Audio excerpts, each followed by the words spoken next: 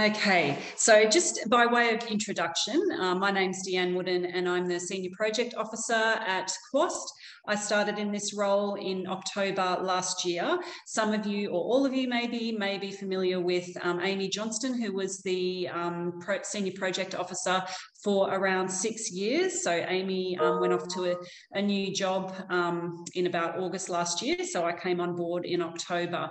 So even though it's been just over four months, I feel like I'm still learning the ropes here at QAST. But um, one of the highlights of the work that I've been doing is trying to meet as many tuck shop conveners as possible. And, you know, again, ideally would love to meet people face to face, but unfortunately, because of the situation, we do have to do these kinds of things online for now.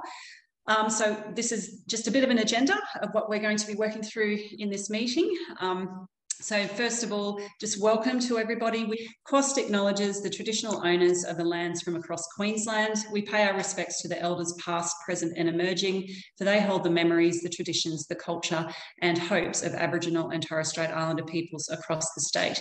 And because this is a metro meeting, I expect that most people joining today on the uh, are joining from the lands of the Turrbal and Yagara people. So now I'd like to um, do a bit of an around the virtual room introduction. So, so yes, Chris Ogden here, Executive Services Manager at QAST. Um, I don't think there's anything else I need to say. okay, and I'll actually ask um, my colleague sitting next to me here to introduce herself. Uh, yes, my name is Colleen Hogg. Um, I am here for four hours at Wooloowin State School on a Friday to assist Tanya Lee, but I like to call myself 2IC. Thanks, Colleen. And Chrissy?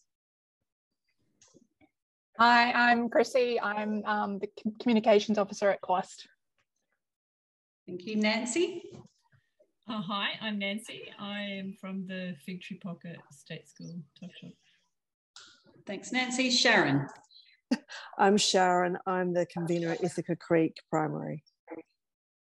Thank you. And um, Mum's iPhone, Mum XR. Oh, that's me, I think. Yep. I'm Megan. I'm Megan. I'm the um, convener at Ferny Grove State High School. Thanks, Megan. Hi, Megan. We've been talking Hi. via email. yeah, Chris has been helping me out heaps, so thanks, Chris. Oh, great. uh, Tanya Lee, you're next. Tanya Lee's the convener here at Wooloowin State School, and um, she's going to take us on a bit of a virtual tour of her tuck shop uh, once we're finished introductions. Uh, Christine. Hi, I'm Christine. I'm a student from QUT and I'm working on a project at QAST at the moment. Thanks, Christine. Gabriella? Hi everyone, my name is Gabriella. I'm also a QUT dietetic student um, attending placement at QAST. And Gabriella came in and did a bit of volunteer work in the Wooloowin State School Tuck Shop this morning, so yeah, thank you for that. Fun. Yeah, I loved it. Excellent. Uh, Katie. Hi, I'm Katie. I am the food service manager at All Hallows School. Great, thanks, Katie. Suzette? Hi, I'm the convener from Wavell Heights State School. Which one, sorry? Wavell Heights State School. Wavell Heights. Yep. Excellent. Thanks, Suzette. Marcy. I'm um, Marcia and I'm the um, committee principal for Newmarket State. Okay, great. It's great to see so many new faces, and I do hope that I get to come around and meet everybody eventually. Uh, Joyce, you've just joined us, um, and we've just gone around the room, um, the virtual room, and done some introductions. Did you want to just quickly introduce yourself? The, I am the retired um, canteen convener from um, One School Global. Okay, excellent. Thank you, everybody. Great to see you all. So we've done our introductions around the virtual room, and now it's over to Tanya Lee, um, the convener of Wooloowin State School, from where we're joining you today um, to do a bit of a virtual tour. And I'll just introduce Tanya Lee just to say that um, she has had to be very adaptable in the last uh, month or so. Uh, her tuck shop is actually undergoing some renovations at the moment. So she has been moved into the school hall, which seems to be a very, very much a hub of activity in the school with um, all of the school music lessons being held in there as well. And she Tanya Lee also manages the tuck shop, the, sorry, the uniform shop at the school. So the uniform shop set up there and um, the tuck shop set up there. So, um, you know, she'll be able to sort of talk to you about some of the uh, the hurdles she's had, had to overcome to continue to efficiently run her tuck shop. So I'll um, put it back over to you, Tanya Lee, if you're there. Yes, I hope you can all hear me. Yes, excellent. Uh, so yes, as Jan said, my name's Tanya Lee. Um, I've been the tuck shop and uniform convener now here at Wooloowin for approximately oh, coming up eight years. Um, it's a great little community school. Um, I've seen a lot of transition happen throughout that eight years, and one of the most recent ones is moving into our new little space that we have here, which is very tiny. Um, we've actually had some renovations happening up at our pool, which also adjoins our tuck shop. So we're down here for the foreseeable future. Um, with our uniforms as well, we've also moved down here to the floor, so you can probably hear some music in the background. And that's also our um, music teacher having a lesson as well. So, so bear with me if there's a little background noise. So with our tuck shop here, we do a lot of in-house cooking. Um, so everything from our hot meals through to our pie plates and snacks and so I'm just going to grab our menu as well. So this is our menu that we have.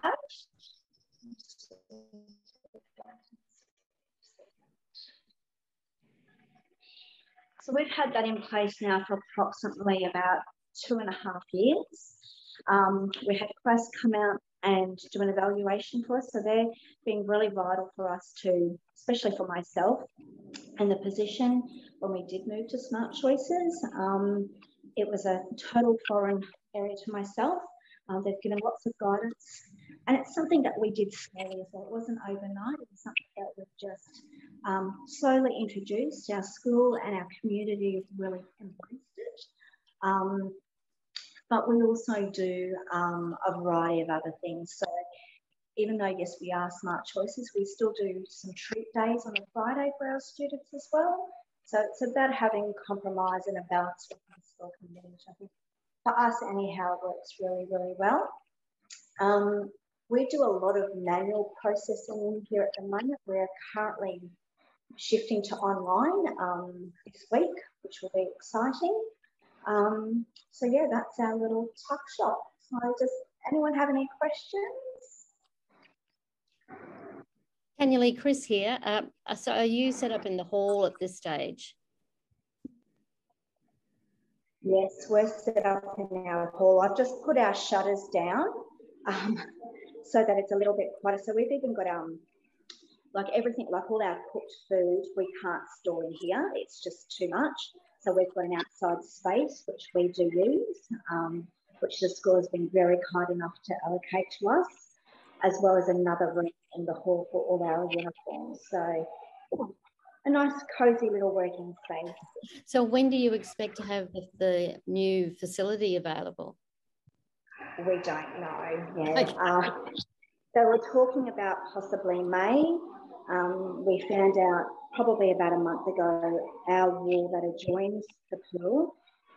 The only thing that is there is gyprock and studs, so there's nothing structurally there for, for our safety for Colleen and I, I think it was a very good decision to move us out and rather than close, because um, we'd already started um, back at work and we'd done all our pre cooking. So one of the things we do in here is a lot of prep work. Yeah, each day we have certain tasks that we do. Um, I only have one volunteer, which comes in on a Tuesday, and that's Anne she's a lovely, lovely lady. She does all my baking for me. So she's fantastic at muffins and pie clips and everything like that. So, and then Colleen, who you all met earlier, she works with us on a Friday and she basically, like she said, she's my 2IC. So everything I do, she does. Yeah. And how many students and how many days a week are you open? Yeah, so we're open five days a week. So Monday to Thursday, we're open from uh, till 12 o'clock and we do first break only. Uh, we are open two breaks, the first and second break on a Friday.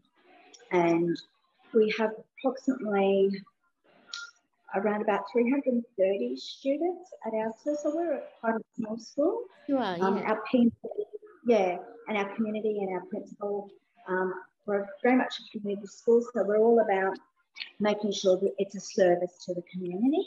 So we're very lucky to be open those five days. Um, we get a lot of support. We're actually involved with a Harmony Day, which is coming up this week. So yeah, we've done a special meal deal for that. So that's about a quarter of our school, just over a quarter have made orders. So it's going to be a big day Friday. Day. What is the meal deal? So we're doing sushi and bento boxes. Lovely. Yeah. So we give them an option as well. We've got a drink that they can add on to that. So we, especially when we're doing our pricing for something like that, we make sure all our costs are covered and we usually come out with quite a nice profit once we do a special meal deal day. So it's really important for us in here to try and meet our budgets that are set, um, which we touch up can be one, can be a bit difficult at times to do that, but yeah, we definitely have um, probably three out of the four terms where we're profitable. So compared to seven years ago when I started, you know, that's a big step up. So we're really happy we're at the level that we're at now. I'll stop hogging the questions and let other people ask questions now. What were those times again for, that you're open at the tuck shop? So we open from 8.30 a.m. till 12, Monday to Thursday, and Friday from 8.30 through till 2.30. And our uniform shop, we open five days a week, and that's from 8.30 till 9 a.m. five days a week. Thank you. You're welcome. Um, Tammy, um, Lee, it's Sharon here from um, Ithaca Creek. Hi. Hi, Sharon. Um, I'm really impressed that you're operating out of this um, this makeshift kitchen. I really am. I, I, I, so you do all your cooking there in the kitchen? Yes, we do. Yeah. Right. Um, we I can take you outside. It might be a little bit noisy, and I'll quickly show you our freezer. So bear with me and the children.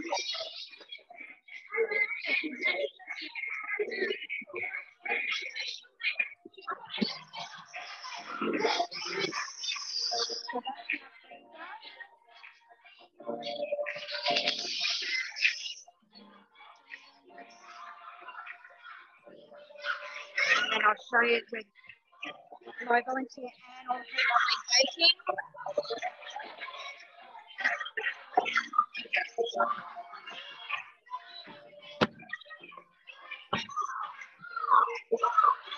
I'll just go it's a little bit quiet. and so, Tammy, are you preparing your food on each of those mornings, or do you have additional hours to prepare that food? So currently, it is slightly additional, only because um, we can't do service in a small space and cook. It is just tight. But generally, yes, um, I would tee it up when I've got so Anne, my volunteer, or Colleen on a Friday. I'd set them tasks to be cooking while I'm doing other things. Mm.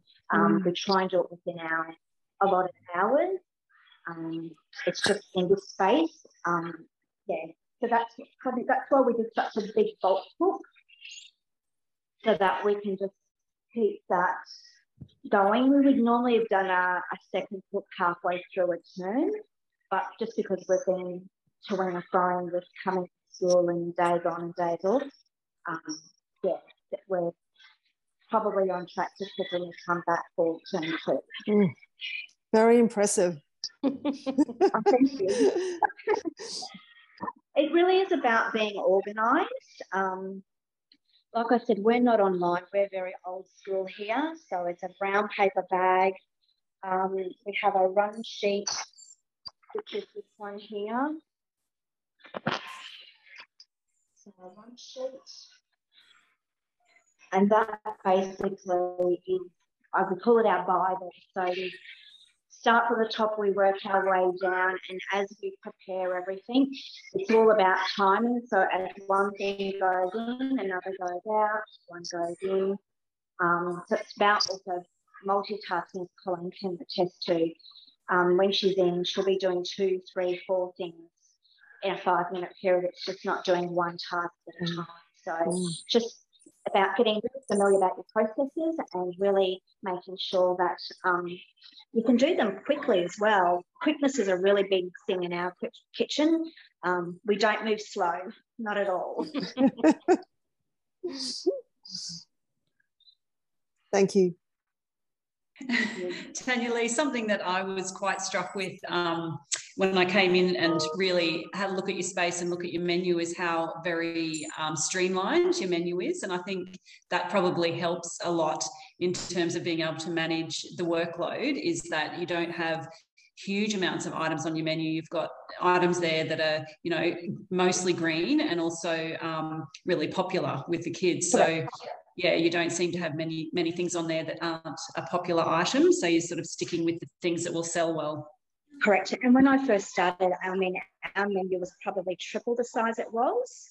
And we would just have all this stock sitting there not being used. So it was really important for us to streamline everything um, so that we can be really maximize our effort and our time when we are at work. Because really, I mean, four hours in a morning isn't a lot to get everything done. So, yeah. Which, which course was it again? That's great. Does anyone have any other questions for Tanya Lee before we move on? We're doing the yeah. Yeah, I'd love to ask um, what's um, spurred on the switch to online ordering? Um, a couple of things. Um, so we i feel like we're almost prehistoric in our record keeping um, in terms of across the board everything from being able to analyze our menu through to knowing exactly how many items we're selling over the counter versus um, our actual individual sale or bag sales. Um, I'm really big on, I like transparency. I think it's a really good way that helps a business grow. And that's how I see Tuck Shop and the uniform. It's a business. So without that transparency, it just makes it so much harder. We have a, a prepaid account where people have come in by EFTPOS, put money down, and we deduct it. When we first started that, it was fine, no issues, but we have over 50 families on that now, and it's just it's purely not manageable. Mm. So um, our school is also going through a massive, massive growth spurt. We've been we've purchased new land, so our school within the next three years is going up to over 600 students. So over double. So we just want to um, want to have that infrastructure in place so that we can be very familiar with those processes and make sure that we grow with the school as well. Yeah, perfect. Sounds like you're going down the right path. I hope so. All right, if that's um, everything from me, Deanne, I'll I'll log off my end and I'll come back down to you. Great, thanks, Tony Lee. Thanks so much for sharing with us. Okay, See you soon. Okay, so I'll go back to sharing my screen um, and go back to just getting through the rest of the meeting now. So um, I will send this um, presentation out to everyone who's attended today and the the menu that Tanya Lee uses is on the presentation, but it's also on the website, the school website, so you can go and look that up if you like. But as you can see there, it's pretty simple, um, but you know everything on there is popular with the kids. So um, really well done, Tanya Lee, and thank you. So next part of the meeting, just wanted to share you know some new things that you might not have heard of, about what's happening at QAST So um, as of in around November last year, we started a new style of membership called rolling membership. So previously, up until November, um, PNCs or tuck shops could only join at, at the beginning of uh, July, or the membership period was beginning of July until end of June. So that was a bit of an obstacle for um, PNCs that might have wanted to join in September or January, understanding they wouldn't get the full value of their membership for the 12 months. So now um, PNCs or tuck shops can join any time of the year and they will get their full 12 months of value from that joining. So um, hopefully that will encourage more um, members to, to keep up with their membership and for new members to join at any time of the year. Secondly, our Talking Tuck Shop magazine was um, sent out to schools around beginning of February. Is that right, Chrissy? I think it was. Um, and so just wondering, you know, have you received your copy? Um, one of the, a, a co single copy was sent to every school in Queensland, and we do know that a lot of them don't get to their, don't get to the tuck shop conveners, but that's okay because a lot of the information in there is useful to all um, areas of the school environment. We also have that magazine available online. So if you wanted to, um, if you didn't get your copy in your school and you can't track it down, down, you can go onto the QAST website under the um, news media section and you'll be able to find the Talking Tuck Shops magazine on there. So um, the next thing, Healthier Tuck Shops program. So this is um, this Tuck Shop Network meeting today is part of that program. Um, we uh, QAST receives funding from Health and Wellbeing Queensland, which is a government agency, a health promotion agency, and we receive funding to run a Healthier Tuck Shop support program, which is all about getting information about healthy eating, health and menus, menu planning, um, etc., out to tuck shop conveners, PNCs, and the school community in general. So we've got lots of deliverables as part of that funding, and these network meetings are one of those. Lots more menu planning resources, more recipes to be planned um, in the coming months. So look out for that information we also have now a landing page for the tuck, uh, Healthier Tuck Shops program on our website. So you can go on there and,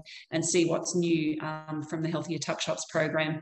One of the notable pieces of communication is an e-newsletter, um, which again will be emailed to all schools um, once a quarter or once, sorry, once a term. Um, so our newsletter went out a couple of weeks ago and we've started planning the content for the next one coming out in probably um, mid to late April in term two. So look out for that one in your inbox as well. Uh, training that we've got coming up, we've got a food safety supervisor course coming up um, next Monday, the 21st of March. Um, so if you're needing to uh, update your skills on food safety, certainly register for that one, or the next one is the 16th of May. And both of those courses are face to face and they're held at the QAST office. We have also recently, thank you very much, Chris, for all your hard work on this. We have launched a new food safety supervisor refresher course, and that's online only. Um, that's available now, and that is available only to members of QAST.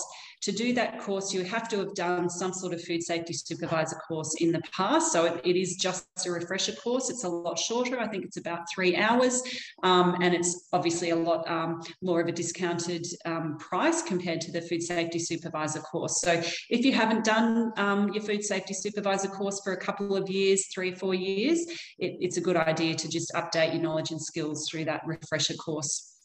And on in the same vein, we also now have a free food handlers course, which is also only available online. And that's really aimed at people who come into tuck shops and do some volunteering and also potentially other staff that don't need to have the full food safety supervisor course.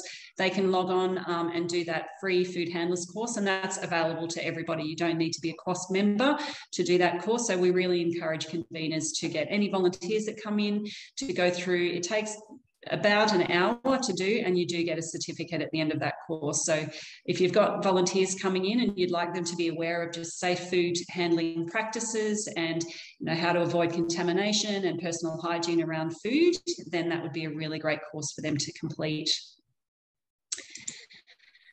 so now just um, quickly, each of these Tuck Shop Network meetings, I want to do a quick nutrition um, update. Um, I'm a nutritionist, a dietitian by background, and part of my role in QAST is to really get information out to Tuck Shop conveners and other sectors of the school environment about healthy eating. And obviously, you know, we talk about smart choices, but there's more to healthy food and healthy food and drink supply and um, nutrition outcomes comes for children.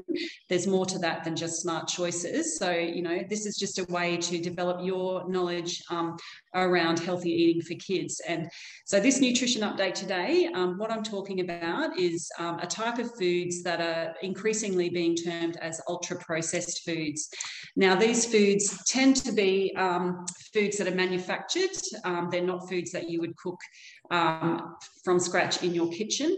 They're usually heavily marketed and they're usually not very healthy. So, if you're looking from a smart choices perspective, um, some of these ultra processed foods, a lot of them would be um, considered to be red. They would be classified as red, but some of them actually do scrape into the amber category. So, what I want to talk through today is a little bit of a description of when an ultra processed food might just scrape into amber, but really um, is, is probably more of a red choice, and how to actually you know, um, detect whether that it, it really should be, it really is a product that maybe shouldn't be served on the tuck shop menu.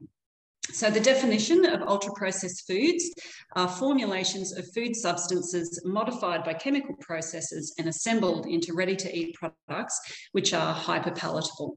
So basically that means that they're not real foods. They're, they're combinations of ingredients that have been put together in, in a factory, basically, to be ready to eat and they're usually very tasty. But evidence shows when they're doing um, research around um, and getting people to consume these types of foods, what they're finding is that they're really tasty. So they make people want to eat more. They've got all these flavor enhancers and, and other things in there that make them taste really good and make you want to eat more, but they don't actually um, signal to our gut that we're satisfied. So we, um, they're foods that we can tend to overconsume because they taste really good, but they don't really satisfy our hunger.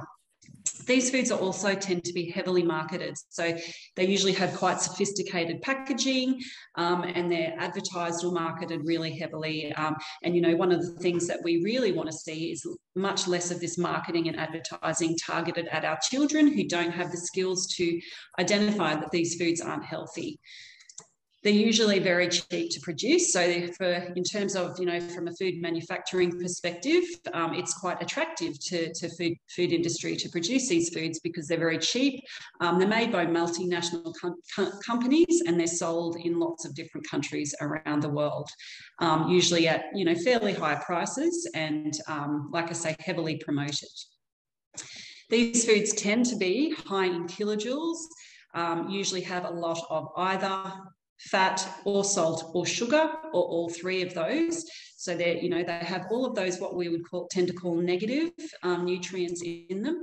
And they usually tend to be low in nutrients because they're not real foods. They're these food commodities which are assembled together.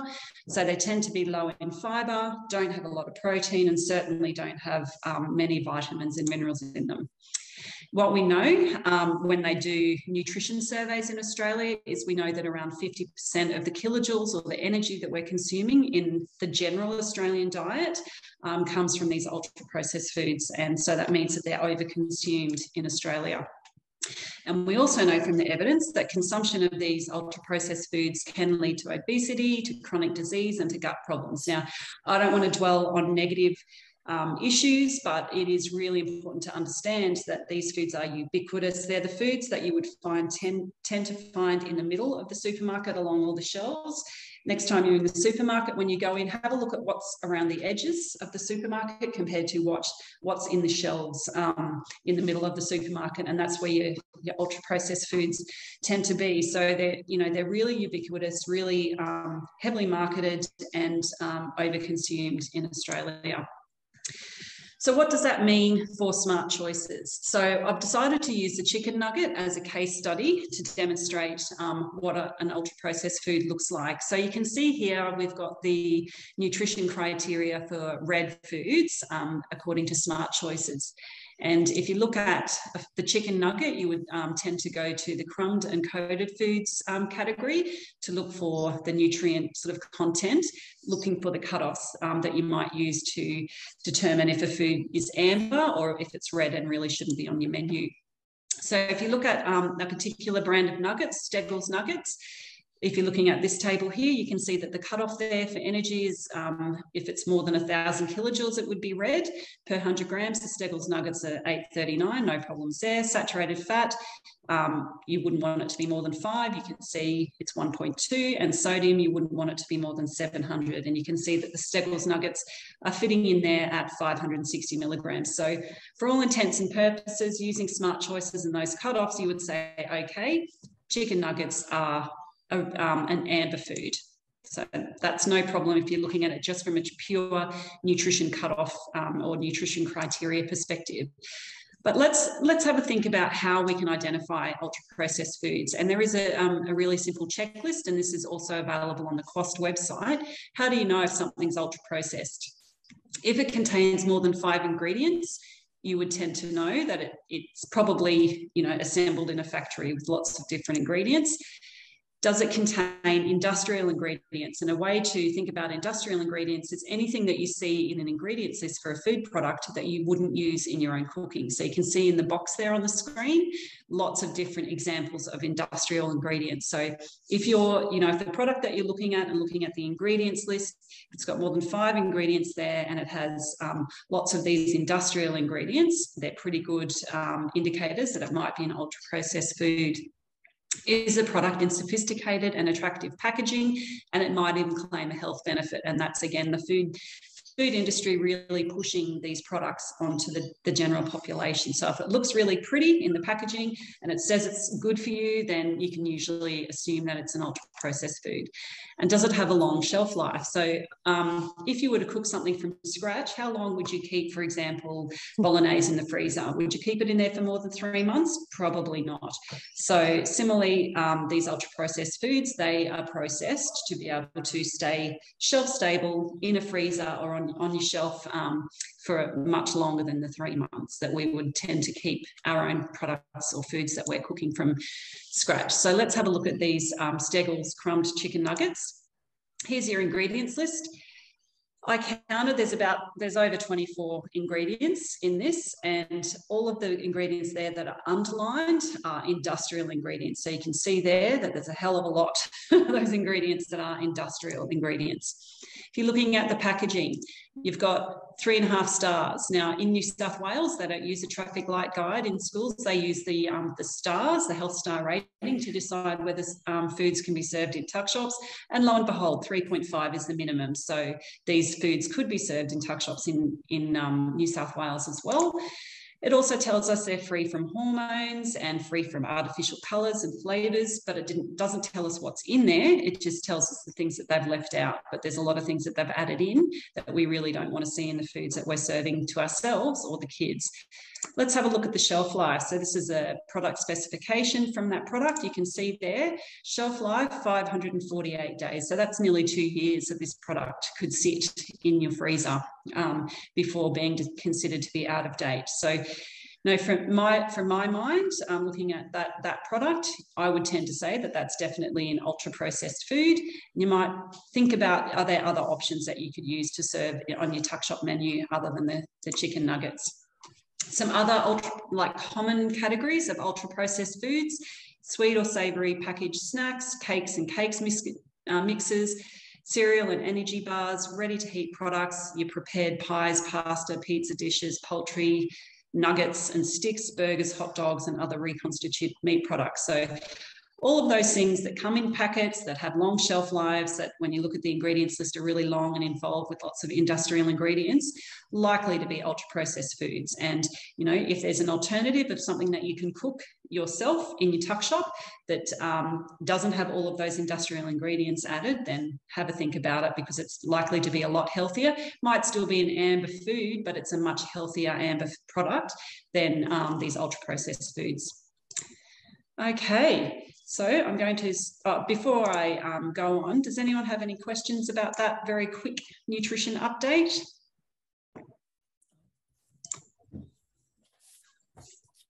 Nope. Okay, so next part, oh, sorry. I took me that long to unmute myself. um, I just want to make it really clear that although that particular chicken nugget uh, does meet the amber criteria, it would still need to be served as part of a meal uh, to. Yeah. Sorry. Yeah, sorry, I should have pointed that out, Chris. And you know that that's actually that's a good point, and that's that's one of the reasons why um, we do say that chicken nuggets and other products like that need to be served with the the salad or the vegetables or as part of a meal because they don't contain the nutrients that a meal should really contain when kids are um, having having their main meal from the school tuck shop. So they don't contain the fibre, they don't contain the vitamins, the minerals that the vegetables and or salad would provide. So that's why it's really important to pair those um, ultra processed foods or the less healthy amber foods with something that's a lot more healthy to make sure that the kids are getting what they need from, from that meal. So now, like I say, over to um, everyone online again. I'll just quickly share my screen again. This um, is a networking part of, um, of the meeting where people can ask each other questions. Um, if you've got a particular menu success, um, you know, if you've introduced a new menu item which has done really well, um, or if you've met a really great supplier that's been really helpful and, and helping you find um, really good products to sell in your tuck shop, or if anybody is new to um, their role as a tuck shop convener, um, then you know this is a chance to, to try and um, match up with someone who's got lots of experience who might be able to help you out in your new role there. So I'll um, stop sharing and as I say, over to everybody on the meeting now. This is the, the, the networking time. Can um, it's Marcy here. Can um, Hi, Marcy. Hi. What do people serve in tuck shops? I mean, there was a lot of stuff that is talked about that we do, like chicken nuggets is served with a salad, but we do have hot dogs, we do have hot pies, but that's all. You don't get a salad or anything with. So, what do other tuck shops conveners do? We have fish fingers, but we have them with a salad, and we have hamburger meats with um, lettuce and tomato on a bun, you know. But Nat, who we spoke about before, the new convener there, she um she wants to have a much healthier tuck shop than what we have at the moment, which I'm all for because I'm just a volunteer plus I'm on the committee, on the head of the committee, the tuck shop committee. So I just wondered what else people serve. Well, in our touch shop, Marcy, we one of our big items is bolognese. I mean, I, I hope you can hear me. Um, it is sorry. Um, sorry. we do bolognese. we do, do bolognese. Um, we do bolognese as well. But there's talk about they want to go on to a company that manufactures it. And I'm not really fussed on that now. Well, look, we can get probably, we do around about 50 to 55 portions um, when we're doing our batch. We right. can get that done probably cooked and packed within about an, an hour, hour and 10 minutes. So it, it's not a long process. It, again, it's about having those processes in place so that you've got um, your convener and your volunteers are working together uh, to make sure certain tasks are done. But with us, we do mac and cheese is something we just introduced. That was at the end of last year. Um, yeah. That was a big request from our kids. Um, that's taken a couple of times of cooking it to sort of tweak the recipe. Um, and fried rice is another one that we offer, which is vegetarian, but it's probably not our biggest seller, but it's definitely one of those. Pizzas. Um, we also use um, our pita pockets, which are very versatile. Deanne saw those today. So it's one item that we use for our burgers, our pizzas. Um, what else do we use them for? Burgers and pizzas that's everything. Yeah. Um, yeah. So pizzas is another item that is very quick, very easy to do. Um, doesn't take a lot of prep time to do those as well. So, so when you talk be... when you talk about the the um, pocket breads, you just put the get a pocket bread, put the um, sauce on it and the ham or pineapple or whatever, and then just put them in the Correct. Yep. Yes. So we okay. We go through quality foods, and they're called mini um, pitta pockets. They're only about that big. Yeah. We put them in the microwave for about 40 seconds because they're just to thaw out. Then we cut them all the way around, split them in two. So the one pitta pocket actually gives you two, pizzas. Yeah. yeah. And it's an ideal serve. It's good for the kids to handle. Um, portion wise, it's it's filling for them as well. Yeah. And it's all natural, like it's all healthy food. Yeah, yeah. It's um again, I suppose in tuck shop, as you're all aware, we need to just be careful about quantities. So just making sure when we're putting it on, it's not overloaded because yes. the skyrockets the price of your pizzas out of the window. But yeah, yeah. And, and we're going to trial a few things. Sorry. We're going to trial a few things this winter, like soup. Yeah, so we're going to be trialing soups Does this winter. anyone do soup at their school in winter? We do nachos in winter and we do um, chicken fried rice. Okay. So, has anyone done a soup previously? Because it's I something have. we've been wanting to do and we've had requests for it, but our concern is how do we get that to the students safely? Yeah. So that's yeah. Hmm. That's the thing. You have to, some of the packaging just isn't good for hot food. You know what I mean? It, for, you've got to have the soup at a reasonable temperature and then kids being children if they knock it you know that's still a warm soup yes my, my experience of soup was oh my experience of soup it was quite a few years ago that i tried it. Uh, it wasn't a big seller. Okay. so um, i feel like the parents liked the idea of soup more than the kids did. Um, okay. i haven't tried it again. That could be different. Um, but you know sharon did you did you serve it with bread? Yeah we did. We served it with okay. garlic bread um, oh gosh i thought that would have made it really popular yeah and we served ours in a um, triple walled cup um, and you know obviously it's not going to be it's not going to be super hot so that if they spill it it's more warm you know like yeah. warm to hot they mm. can't burn themselves but we barely sold any i ended up giving it to the teachers and we tried it several times but um I mean, it's worth a try. Yeah. But some things. Maybe if you don't have a huge, extensive menu, um, it might sell better if you take other things off that you, you know, would sell in summer, remove some of those items and replace with soup. So then there's less things to choose from. I don't know. Well, I make my own baked beans, and Nat and I were talking Ooh. yesterday about doing a pot of baked beans because mm. you don't have to have baked beans really hot and you could do a bowl of beans with bread and just have it lukewarm. But I had for lunch beans cheesy beans are a I love them.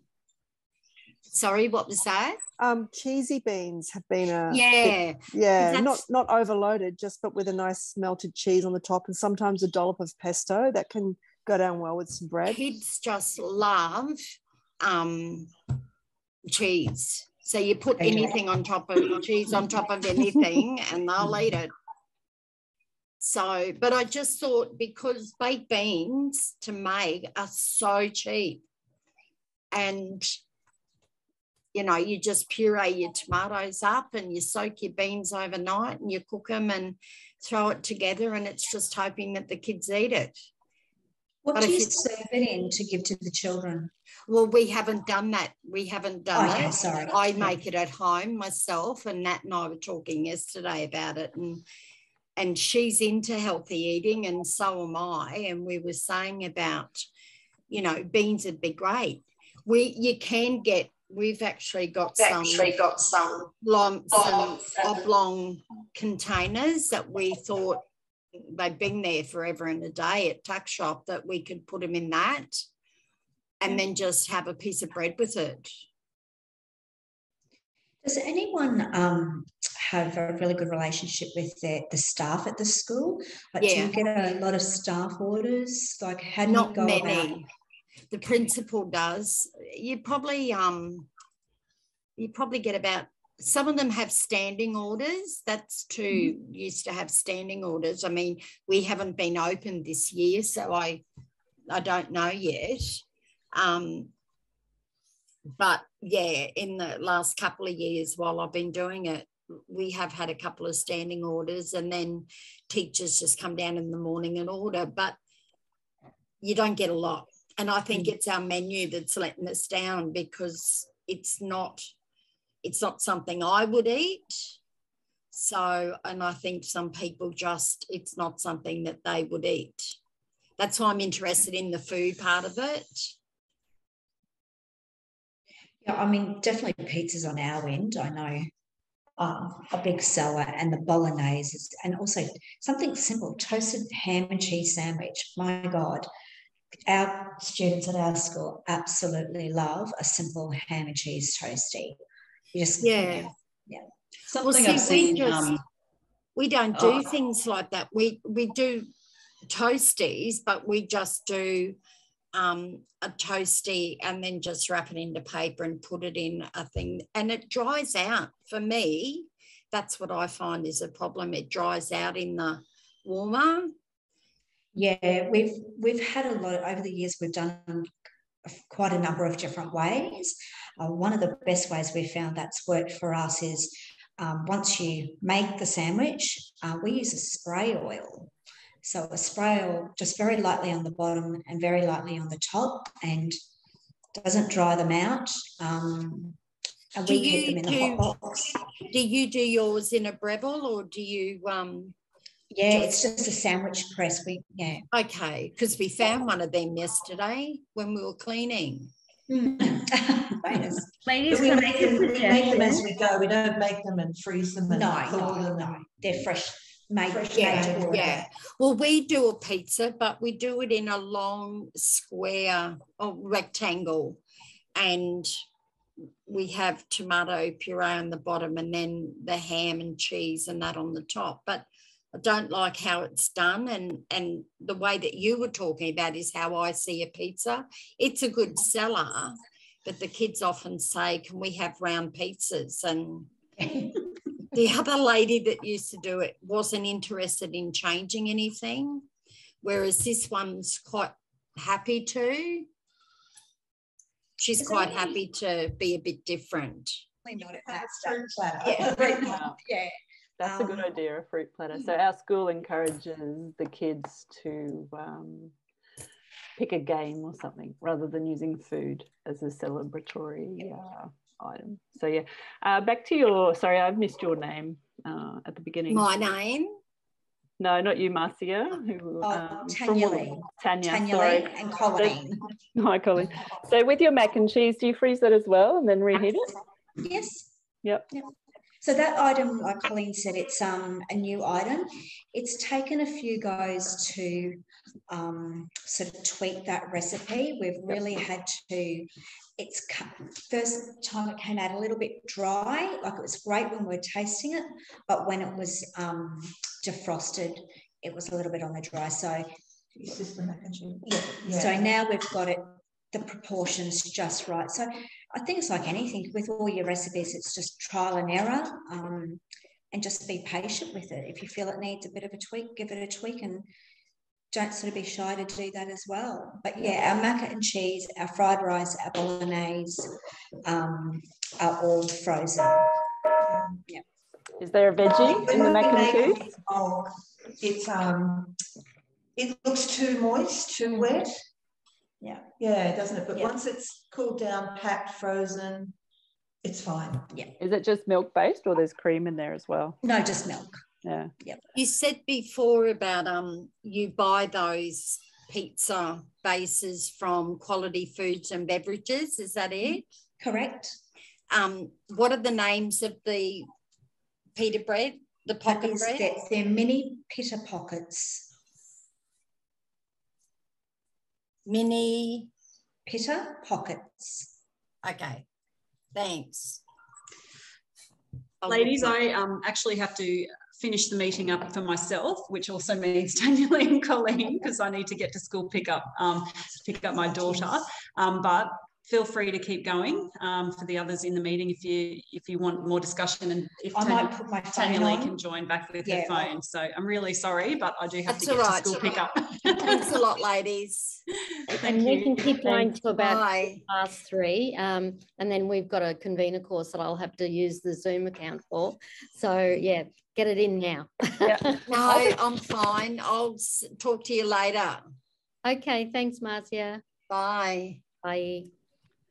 I have a nugget question for those that serve nuggets with salad. What kind of salad and how do you package it? Don't all speak at once. Um, well, I know in the so I've started volunteering in my little boy's um, tuck shop, and they serve chicken nuggets with a salad, and they just serve it in um, just the um, like a not the car, the recycled cardboard material container, um, and it's just a simple salad. So iceberg lettuce, um, tomato, and cucumber. So is the container an open container or? So it's one of those ones that um, clips in. Like you know the I can't think Like of a, the a material. hamburger clam, that sort of thing. Yeah, Okay. yeah. Yeah. All right, gotcha. I've also seen the nuggets done with fried rice, um, and often done like that. They'll they'll do them in just a square foil container, um, and then I've also seen them done as like a sushi bowl, and the nuggets used as the crumb chicken. Um, so that's sort of like with some fried rice, uh, or even just plain steamed rice, um, bit of cucumber or whatever vegetable that it, it sort of varies. The the chicken nugget and then some nori sheet cut up on top, and that's usually in a in a clear like takeaway type container, so you can see the veggies and stuff. I can't imagine how to do that when you've got like 70 serves of It's nuggets. not something you want to do uh, much of, like on, on every day. You might only want to do it um, as a special or something like that, because it would be very time consuming compiling all that. Mm. If you have a look at the um, Bli Bli Facebook page, Bli Bli State School, Yep. um, they have they seem to have lots of ideas for chicken nuggets on there. Yep. There's always some really good ideas to look at. Gotcha. Thanks. Sorry, Sharon, I think you might be on mute.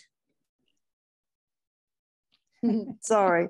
Um, okay. We hi. We um, tend to poach chicken breast. Um, we find that poaching is tasty, it's moist, but also it's not labor intensive. Um, you know, once you sort of get that poaching water and then you simmer it for a couple of minutes and switch it off and let it sit, it's something that you can straight away move on to something else while that finishes cooking. It's easy to shred. It's healthy. It's a green choice. Um, and then you can combine that, um, you know, with a salad. And it's Another thing we- cost effective too. Yes, it is more cost effective. Another Mm. thing we do with chicken is we used to get um, for our burgers, we used to, um, for our chicken option, we have three options. We have a vegan option, a beef option, and a chicken option. We use Angel Bay beef burgers, which are um, have Yeah, a high, they're lovely. They're a high end product, Mm. minimal sort of of those industrial ingredients. I don't think it has any. Um, obviously, we serve the burger with salad in it.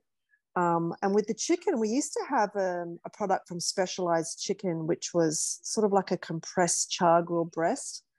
Um, but we switched to free range chicken breast, which even though free range you're paying more for it, you're still paying a lot less just when you buy you can buy it in bulk.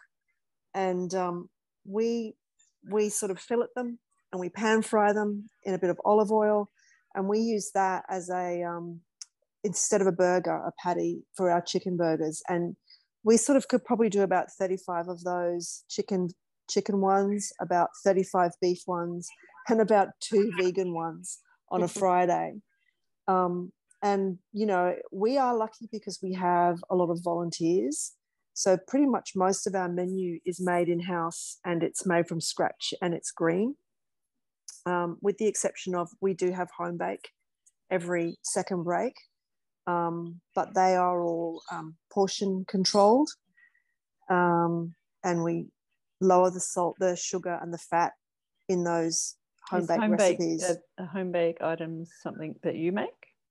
Yes, yeah. So we we pre-COVID we had um, a roster of home bakers which is a great way of enabling people who want to help out but who can't help in the kitchen. Um, and we would give them a, um, a list of recipes that were healthier. And um, question. that was a way, yeah. How do you get your volunteers? it's a um, slow and cumulative process.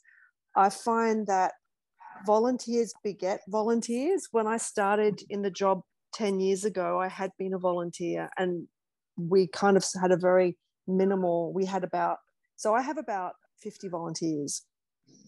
And so that's why that's why I'm amazed when I see what you guys are putting out with your stuff with your staffing. I just think you're amazing. Oh, um, Sharon, I think we need to come and interview you and see what you actually do. Don't you think, Chrissy? Sorry? I think we definitely need to come and interview you, maybe even do a podcast with what you do Oh, volunteers. Look, look, I would love to share what I do um, because it, it works for us. But I mean, our idea is that to try and be really brief because we know that everybody is busy. Um, we know that people may only be able to offer an hour a month. So when I say a volunteer, that volunteer isn't coming in every week. I find Yeah. there are very, very few people that can ever do that anymore. Um, but if we have a big team, people can contribute as they're able. Um, Takes a bit of organizing at the beginning of the year, but then pretty much after that, it's self sustaining. So, um, and volunteers tend to bring volunteers. They might bring their mums. We have grandparents, we have dads. Um, and the idea is to make it a light load so that people enjoy coming and they encourage others to come. Um, we also, I also operate the uniform shop, and I think that the preppy outfitting at the beginning of the year and also on Prep Experience Day, which is usually in November, um, is a wonderful opportunity. We do that. I do that with a handful of volunteers who are tuck shop volunteers. It's just a really great um, greet and meet opportunity because you have that extra time while you're outfitting those kids and people just see how friendly the school is and they want to be involved. So we give them you know information about the tuck shop at that point. We give them a flyer. Um, sometimes they write their na- names down then. So you're kind of catching people um, you're a welcoming party but you're also catching people when they first enter school. So you're getting um, people early. Many of our volunteers sorry Get them while they're green. yes and and because of course that's when they're really keen. They're sort of handing their child over to school and they want to be involved in the school as much as they can. So it's a really opportunistic moment. Um, and we find that we have huge longevity with our volunteers. Once they come they usually stay for several years. We have volunteers whose children no longer go to the school. Um, and it's actually just a really lovely um, community experience. I think a lot. So we've been closed actually since um, the first week of December. We had a big flood in December, and we closed in week nine. Which Um, school are you, sorry? It's sorry, Which Ithaca school? Creek. Ithaca Creek. So we're not a big school. Um, Hill. we're not a big school, Tanya Lee. We've got You've about got 630 students. You've got Um, Chris Rebecca as your principal. Yes, yes. He's our, yep, he's Yeah. our old principal Ah, right, right, yeah. So, um, and we lost a lot of um, volunteers through COVID. Um, We got down to 65% of our usual volunteer load, um, which is not surprising because there's a natural attrition as people leave the school or their lives change. But also, we didn't have that opportunity to connect with people, particularly incoming families, because we had a socially distanced uniform shop. Obviously, parents weren't able to come on the grounds. And so we did lose volunteers. And we haven't relaunched this year. It's the first time in 10 years we haven't had Tuck Shop because we've just been, um, you know, with closure, the extended closure, and then we've just been hit again with another flood. But, you know, it's um, a good opportunity to re- rejig things. But we do a lot of green things because we have the volunteer numbers and also because we switched to Flexischools, online ordering eight years ago. That saved a heap of um, staff time. It saved us probably four hours easily in, in any week because you're counting change. We have streamlined menus like yours, Tanya Lee, so to minimize waste. Um, And in doing that, you know, if you have bag orders, people can order the wrong thing on the wrong day if they're not paying attention. But if you have it online, people can only order what they are able to have on any given day. You can track missing things or problems because you have that um, record. We get an automatic run sheet. All of that just helps us churn mm. out a lot of handmade food as quickly as we can. And also, more parents came on board with the online ordering. So our um, our school has grown, but also Flexischools. Flexi Schools has quadrupled our ordering. So we usually have about 400 orders on a Friday. When I started, we had about 90. And I think that's partly to do with school growth, but mostly to do with online ordering. It's just really convenient. It will save you so much time. I was going to say, um, with the online ordering, do you is it a with Flexi Schools? It is is it also a, a point of sale system that you have? We don't use it. Um, we only have pre-ordering. Um, and we do have counter service for second break because we like to give our students an opportunity to be a customer in a safe environment. Yes. And they, they just have limited snack options that they can buy at the counter. But anything that requires um, us to prepare food must be pre ordered. So we know exactly what we're up for um, at the beginning of the day. And we prepare it all, we put it in paper bags that goes into a class bucket which is collected by the class and distributed from there. Sharon, thanks for sharing all of that. That's wonderful information. I hope you get back up and running soon, you poor thing. Yes. month, that's too much, isn't it? No, no, no. Anyone else have anything else quickly? Fabulous. Well, thank you so much. I'm going to end the recording now. I will just stop that.